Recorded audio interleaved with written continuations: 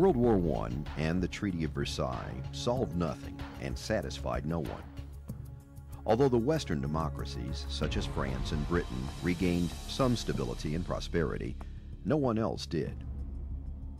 Ethnic and territorial disputes arose among the new democracies in Eastern Europe. The Bolsheviks in Russia threatened to spread their revolution and overthrow capitalism.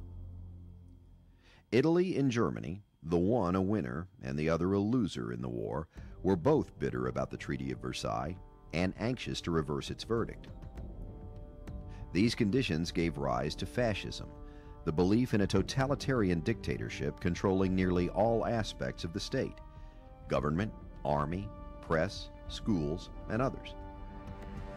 However, unlike the Soviet model of communism, it allowed free enterprise and private property. It appealed to the business oriented middle class since it gave them economic security. Finally, fascism was also intensely nationalistic and aggressive in its foreign policy. The first successful fascist takeover was in Italy under Benito Mussolini. As a young adult, he fled to Switzerland to avoid the draft and was converted to socialism there. In 1904, he returned to Italy and served time in the army in return for a pardon. He then became the editor of La Lotta di Classe, or The Class Struggle. He advocated both political assassination and pacifist resistance to a war with Turkey. He called the national flag a rag fit to be planted on a dung heap. When World War I broke out, Mussolini became editor of the national daily Avanti, or Forward. In the paper, he first advocated neutrality, and then, probably after accepting French bribes, called for Italian involvement on the Allied side. Italy made a poor showing in the war and paid a heavy price for it in men and cash. Government expenditure during the war was twice its expenditure for the whole period from 1861 to 1913. As a result, the economy was in shambles and the country was plagued with unemployment, inflation, riots, strikes, and violence.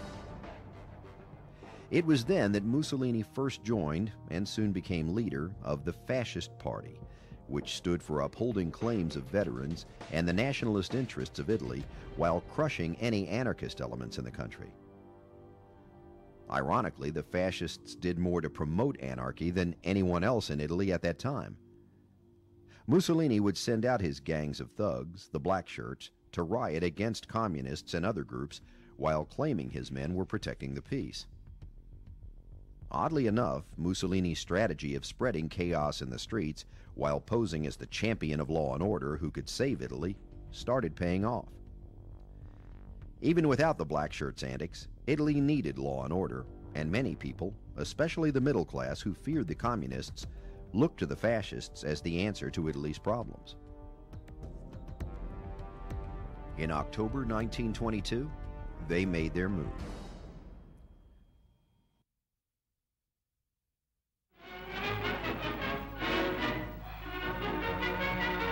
Derby on Empire Day, and as if to celebrate the happy union of two great events, a day to dream about, a day to make California, Florida, and all the other sunspots green with envy. The boiling sun shines down on as mighty a crowd as ever, and all the fun of the fair.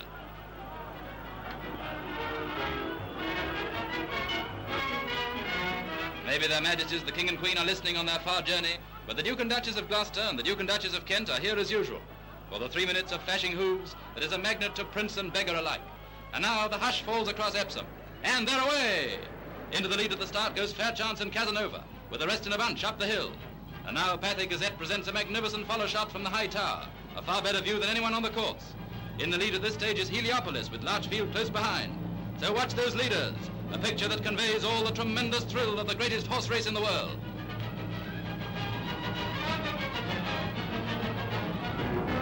As they swing round the big bend to Tattenham Corner, are you still watching those leaders? Because if you are, you'll see Larchfield take the lead from Heliopolis. There they go. Round Tattenham Corner, Larchfield is in front, and now comes the tremendous thrill as Blue Peter steals the race. Blue Peter is on this side, nearest the camera, and Blue Peter goes to the front. And after that, it's all Blue Peter. And do I have to tell you that he's going like sizzling lightning? So it's Blue Peter, Fox Cub, and Heliopolis. The gypsies say that when the flowers bloom on the gypsy boy's grave at the crossroads, a new market horse wins the derby. And it's true.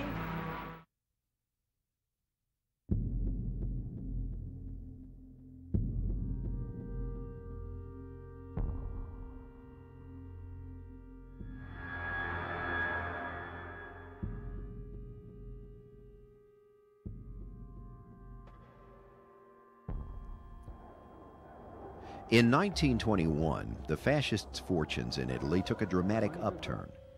Industrialists and landowners openly backed the fascists.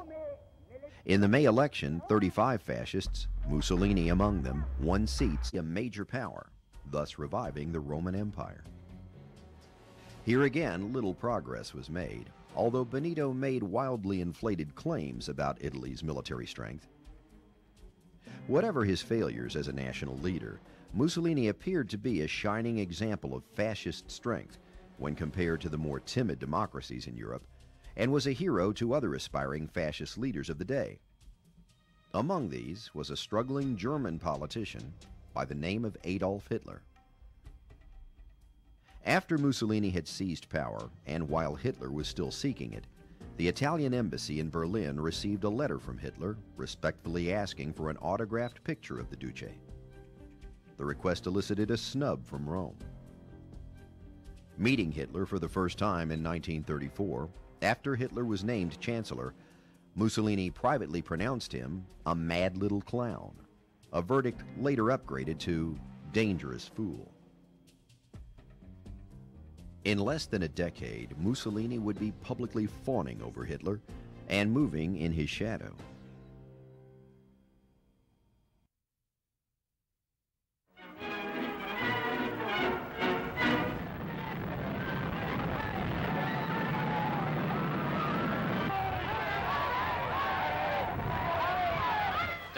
Bright, straight road towards a new understanding in Europe.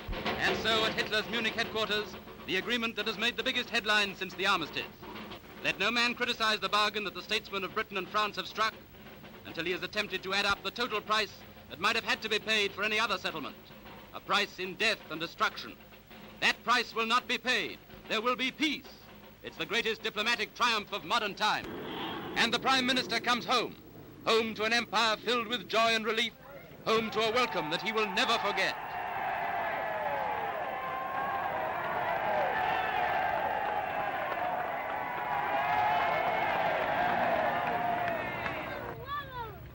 This morning, I had another talk with the German Chancellor, Herr Hitler.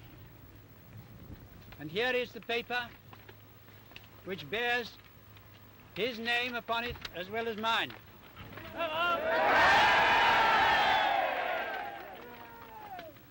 We regard the agreement signed last night and the Anglo-German naval agreement as symbolic of the desire of our two peoples never to go to war with one another again. again.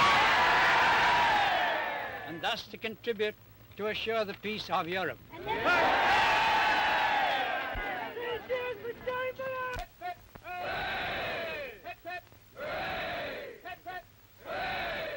From Heston, a triumphal progress as Mr. Chamberlain drives to report immediately to His Majesty the King at Buckingham Palace. And in this, perhaps the most historic spot of the Empire's capital, let the people themselves speak what is in their hearts.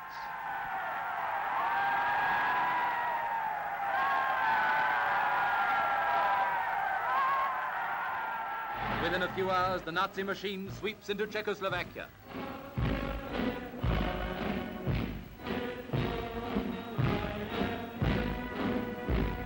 World watches the rise of Europe's new frontiers of concrete and steel, Germany's Siegfried Line. And Germany looks across the Rhine towards the Maginot Line of France. 1938 will be remembered as the year in which the French government first permitted the newsreels to take pictures inside the greatest line of fortifications the world has ever seen.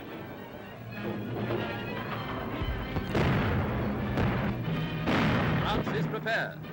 As the eruptions of the old year pass, we welcome the new dawn of preparedness for peace. We join hands in the new spirit of joy and friendship.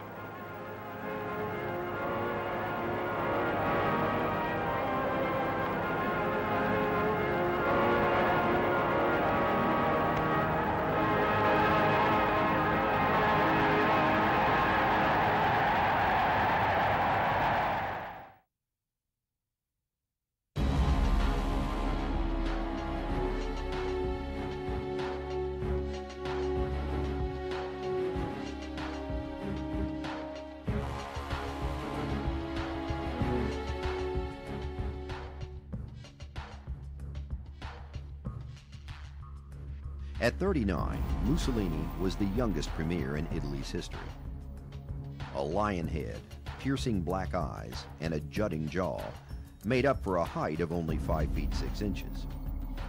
Fitness was a fetish with him, and that was reflected in his powerful frame.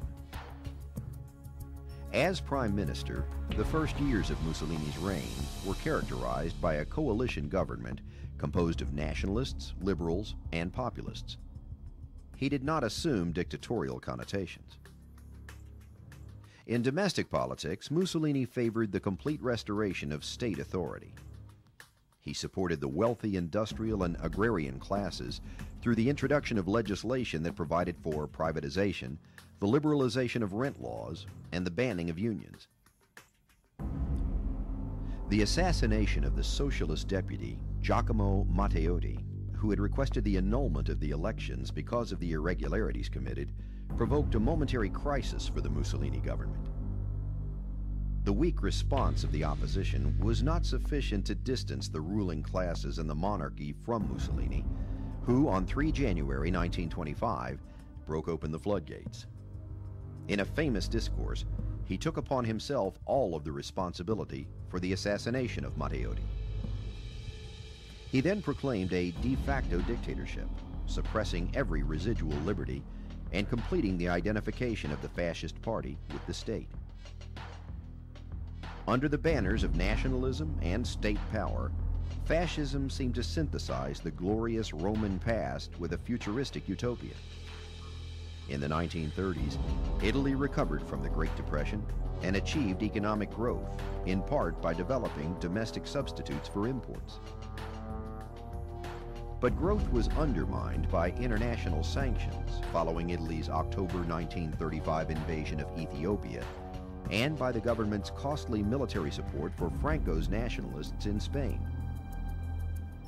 Benito Mussolini, the fascist dictator of Italy, had long held a desire for an Italian empire, reminiscent of the Roman Empire, to rule over the Mediterranean and to also avenge Italian losses at the Battle of Adwa, which took place in Ethiopia on March 1, 1896. Mussolini promised the Italian people a place in the sun, similar to the United Kingdom and France, who both had large empires at the time. Ethiopia was a prime candidate for this expansionist goal for several reasons. It was one of the few African nations that was not a European colony, and it would serve to unify the Italian-held Eritrea to the northwest and Italian Somaliland to the east.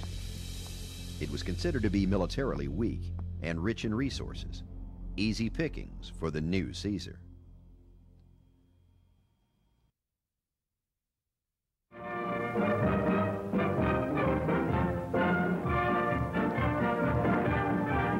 Defiance, alertness, strength, courage.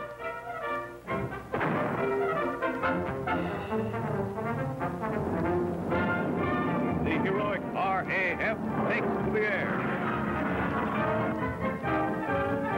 Another German plane meets its master. Convoyed merchantmen brave constant danger from the skies. Each ship becomes a target for the raiders' bombs. Each ship is set on getting supplies safely to Englishmen, to Welshmen, to Scots, to all ashore.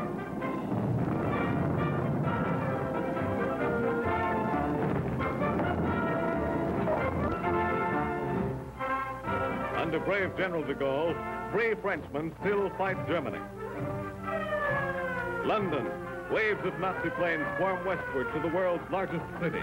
Some reach London's warehouses, tenements, and great docks.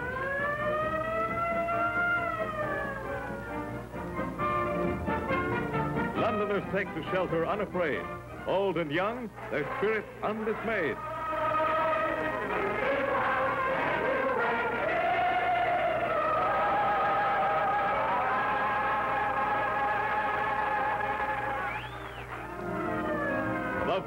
Destruction is falling from the blacked out heavens. Artillery and bomb pandemonium rages for hours, days, and months. London burns by night. The daylight finds undaunted grit and confidence as the job of digging out proceeds.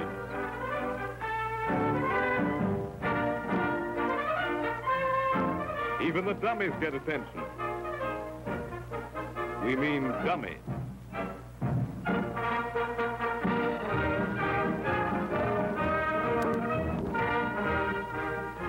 Buckingham Palace, symbol of empire, residence of Britain's monarchs, does not escape the Nazi rain of steel. King George and Queen Elizabeth examine a piece of the missile that demolished the park of their palace home.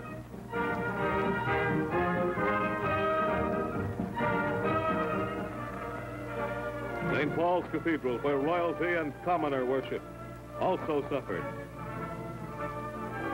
A bomb pierces the roof, destroys an altar, but spares other treasured monuments. The heroic RAF takes an ever-increasing toll. Nazi planes have fallen on English soil by the thousands. May well be that the final extinction of a baleful domination will pave the way to a broader solidarity of all the men in all the land than we could ever have planned if we had not marched together through the fire.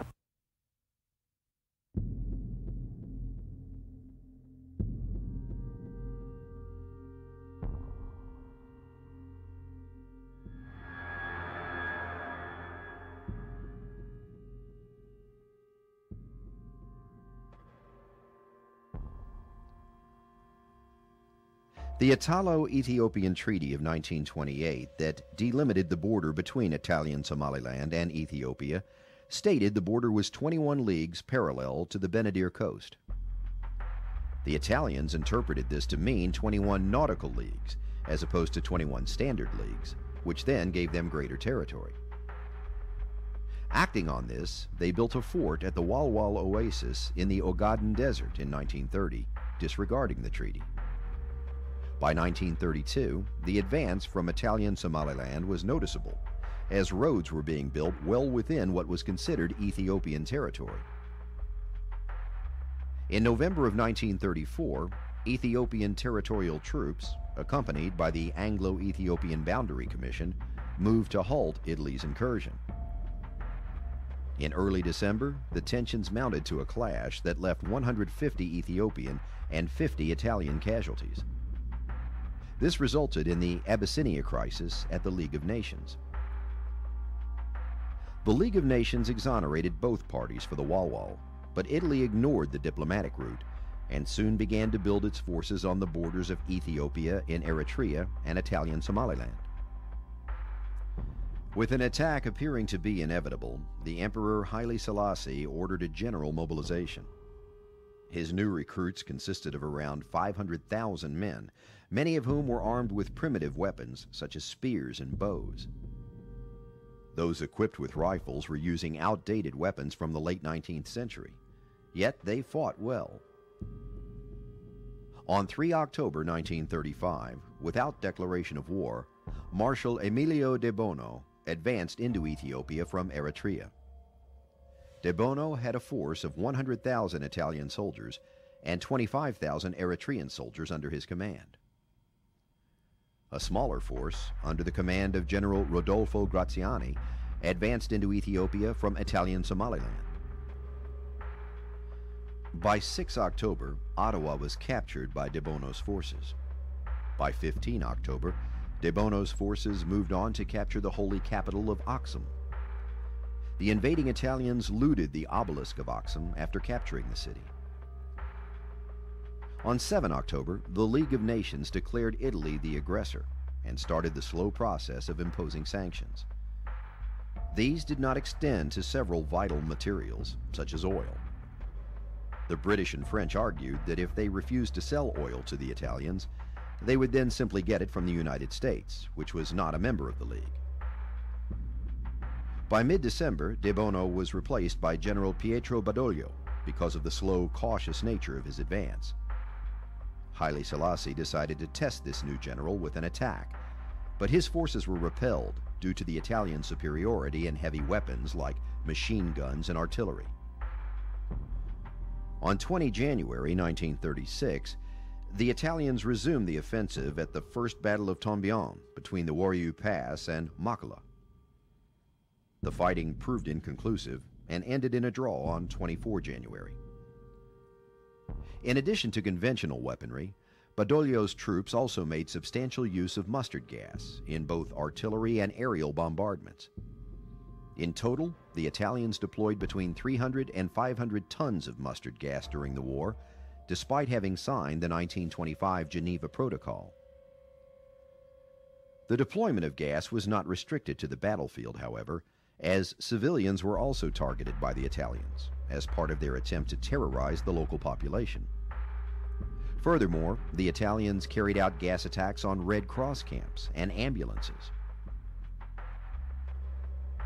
Besides bombs laced with mustard gas, the Italians instituted forced labor camps, installed public gallows, killed hostages, and mutilated the corpses of their enemies.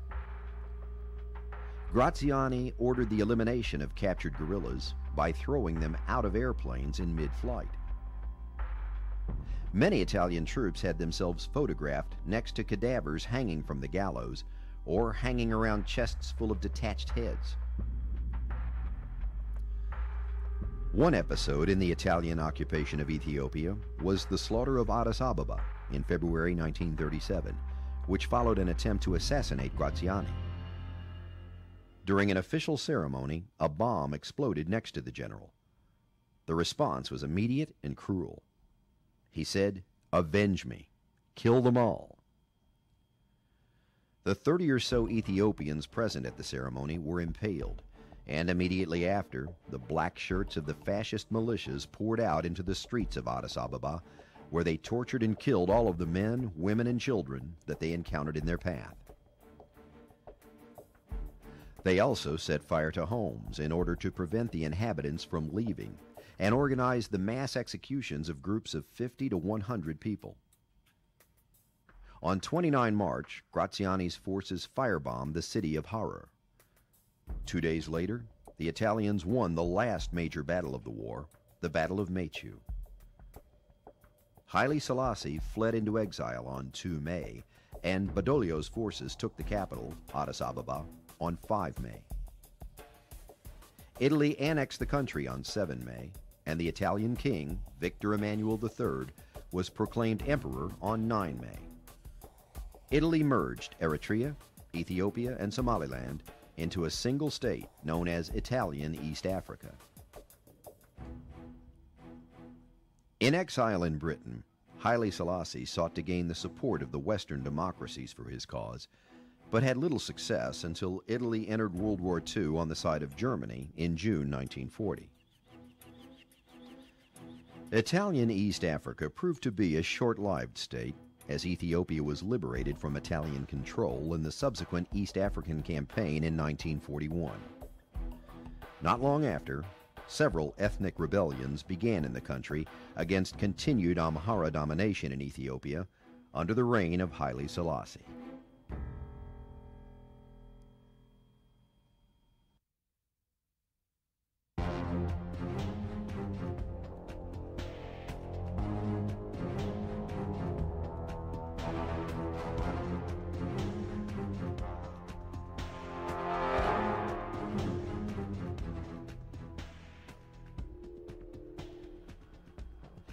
After the rebuff Italy experienced after her invasion of Abyssinia, the only choice of allies left for Mussolini was Germany and Franco's Spain.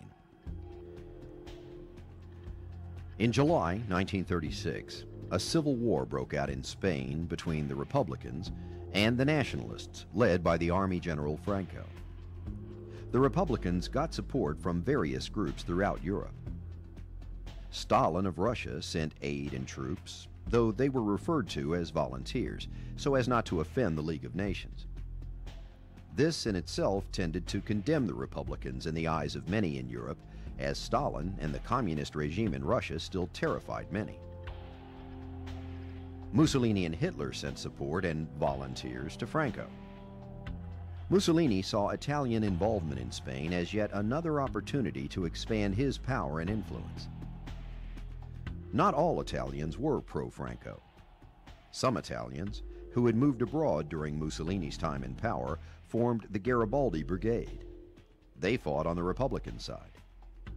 At the Battle of Guadalajara, Italians fought Italians.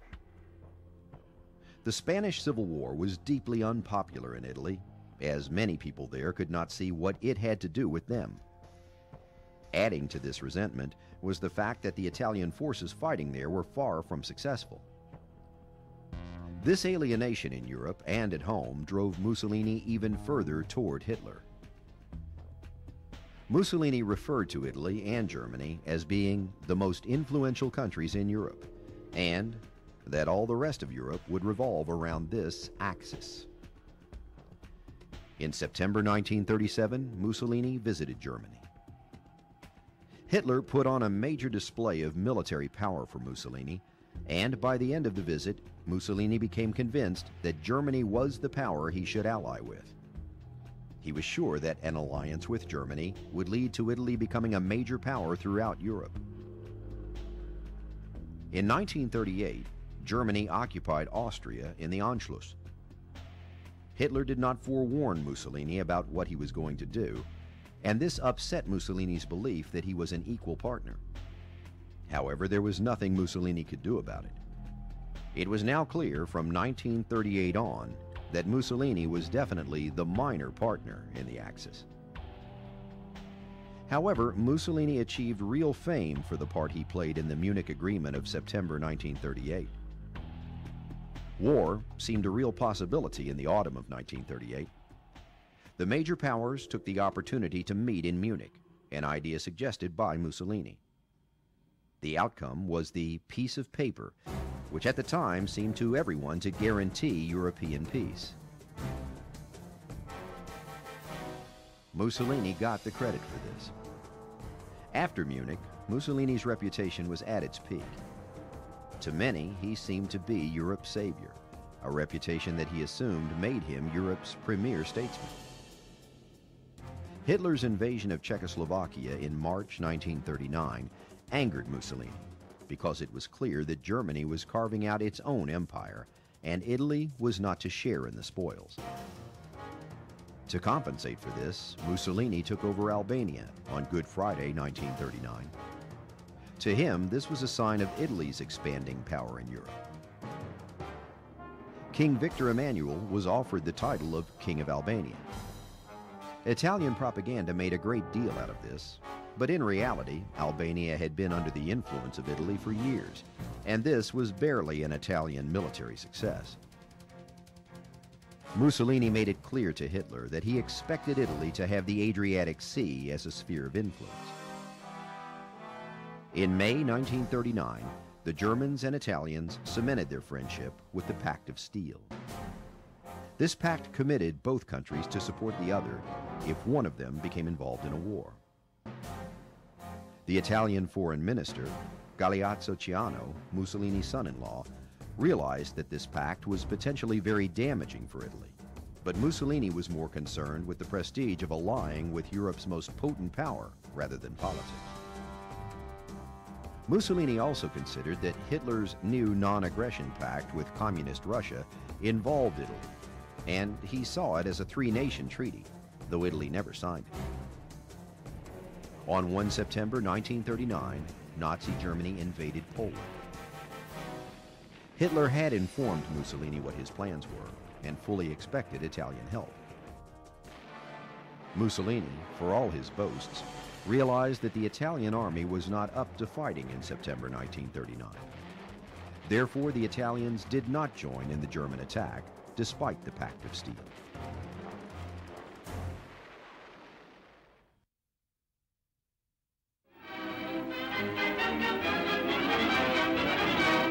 Shortly after Bristol received its 11th raid, Mr. Churchill visits the battle-scarred city.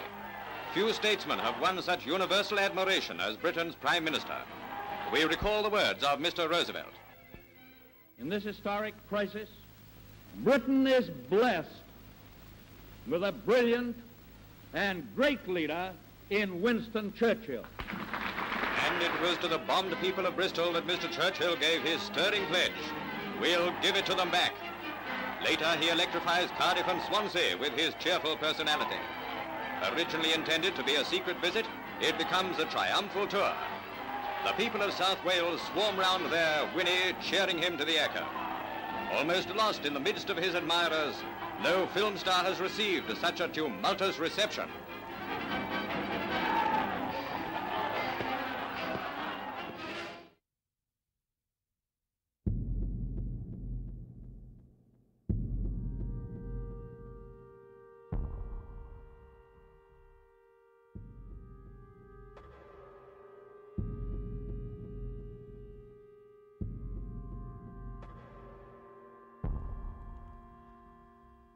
The British government of Neville Chamberlain was in crisis in the spring of 1940. The Norwegian campaign was crumbling. Despite Churchill's acceptance of blame as First Lord of the Admiralty for the Norway debacle, he was summoned to Buckingham Palace and asked to form a government on 10 May 1940. In his first speech to Parliament on May 13, Churchill uttered the famous quote, I have nothing to offer but blood, toil, tears, and sweat. That morning, the Germans swept through Holland and Luxembourg and were moving on Belgium. The blitzkrieg that had claimed Poland, Denmark, and Norway was heading for France and the Low Countries. Luxembourg could not resist and surrendered immediately. Holland attempted a conventional defense, flooding large areas and blowing up bridges, but German Luftwaffe aircraft bombed Rotterdam on May 14. 800 were dead and 78,000 were homeless. Most of the Dutch government, the Queen and her king, fled to London. She surrendered the next day to spare other cities. Belgium declared its neutrality and refused to allow the British Expeditionary Force to enter the country. The BEF defied the Belgian order, but had no effect. The British quickly organized Plan Dynamo, the evacuation of some 330,000 British and French troops to England. Civilian craft were called to take out the British Expeditionary Force. As Dunkirk was evacuated, Churchill flew to Paris again on 31 May. He met the aging Marshal Auguste Pétain, who was a growing force in the French government. Claiming to be willing to fight on from their colonies should England fall, Churchill felt that Pétain intended to end the war unilaterally. On 4 June, Italian Duce Benito Mussolini was directing his forces to plan for the invasion of southern France. The entry of Italy into the war on the side of Germany was a blatant attempt to grab French spoils. Hitler asked Mussolini to postpone until 10 June. At midnight, Italy declared war on England and France, and her armies moved into southern France. When Churchill received word of the Italian entry into the war, he responded by saying, The hand that held the dagger stabbed its neighbor in the back. As the Italian army moved into defenseless France, the British moved against Italian forces in Libya.